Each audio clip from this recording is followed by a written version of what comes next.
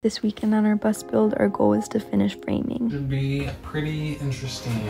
The back wall of the bathroom was already up from last weekend, so we just had to put up the other two walls. We tried to make everything square, but that's easier said than done in a school bus, so we had to go back and make a few adjustments. After framing, we finally sealed the floor with a clear coat to stop any water damage or mold. We're so happy to see our layout start to come to life a little bit and can't wait for the weeks to come.